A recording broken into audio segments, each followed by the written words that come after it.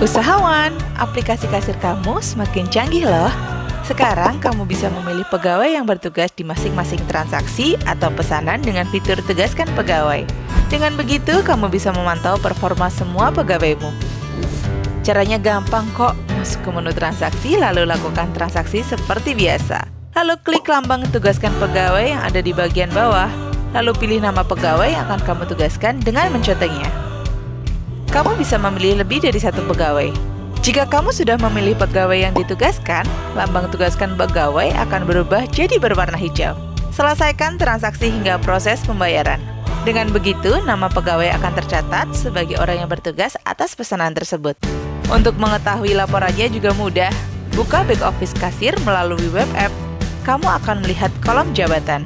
Di sini, kamu akan mengetahui tugas dari tiap pegawai kamu. Lalu ada kolom jumlah transaksi, di mana kamu bisa melihat berapa kali pegawai tersebut mengurus pesanan atau transaksi. Kamu juga bisa melihat detail pesanan dengan mengklik tombol detail. Gampang banget kan penggunaannya? Untuk kamu yang memiliki usaha jasa seperti salon, barbershop, ataupun car wash, kamu harus banget pakai fitur yang satu ini. Fitur ini termasuk dalam kategori fitur tambahan. Untuk mengaktifkannya, kamu tinggal buka katalog fitur di aplikasi kasir kamu.